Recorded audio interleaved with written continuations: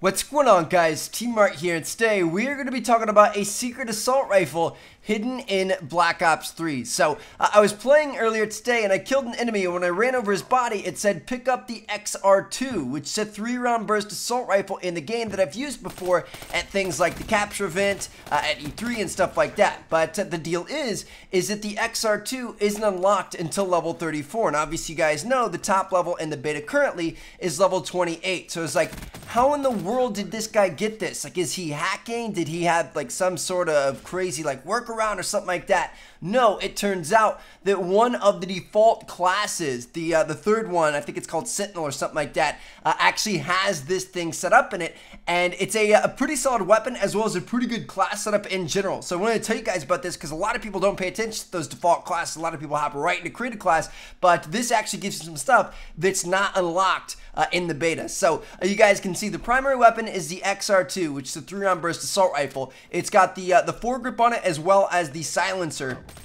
For a secondary, you have a Blackcell lock-on launcher. For your lethal grenade, you have a frag grenade. Then for perk 1, you have Ghost. Ghost is another perk that's not unlocked during the beta. I think it's like late 40s or you know something like that that you unlock Ghost. But this class already has it on it, which is obviously very, very useful. The UAV spam is real in the beta. Everybody's running UAVs, so that's actually pretty useful for you. Uh, it's also got Cold-Blooded as your perk 2 perk, and then for perk 3, it's got the perk 3 Greed Wildcard, and you've got both a Blast Suppressor as well as Dead Silent. So this is straight up silent class. You've got a Silencer, you've got Ghost, you got Cold-Blooded, you have Blast Suppressor, and you have Dead Silence. Literally everything there is all about being stealthy and silent and stuff like that, and overall, they're pretty good perks. So uh, this really is, like, this is a pretty solid default class, and on top of all of that, you get to use a weapon that you couldn't otherwise use. Now, uh, granted, the XR2 it's really not like the, the best assault rifle out there. Like the M8, you guys saw my gameplay with that thing yesterday. That thing is a lot better than the XR2. I'll use that all day long. XR2 used to be the best gun in the game. I absolutely loved it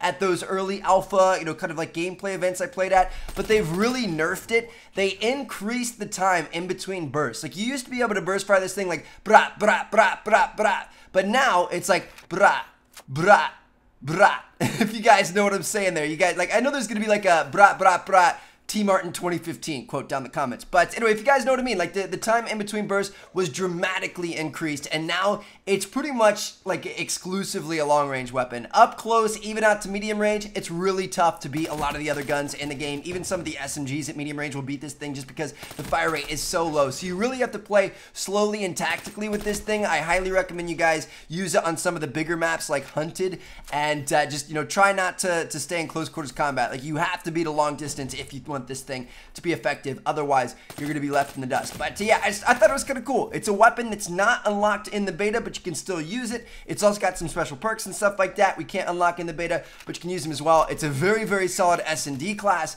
And I just let you guys know it was there in case you guys did not know. So anyway, thank you guys so much for watching. Hope you guys enjoyed. I will catch you guys later. Check out these two videos if you haven't seen yet. Peace out, guys.